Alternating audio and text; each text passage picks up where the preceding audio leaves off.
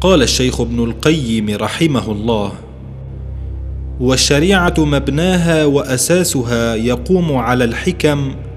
ومصالح العباد في المعاش والمعاد وهي عدل كلها ورحمة كلها ومصالح كلها وحكمة كلها فكل مسألة خرجت عن العدل إلى الجور وعن الرحمة إلى ضدها وعن المصلحة إلى المفسدة وعن الحكمة إلى العبث فليست من الشريعة.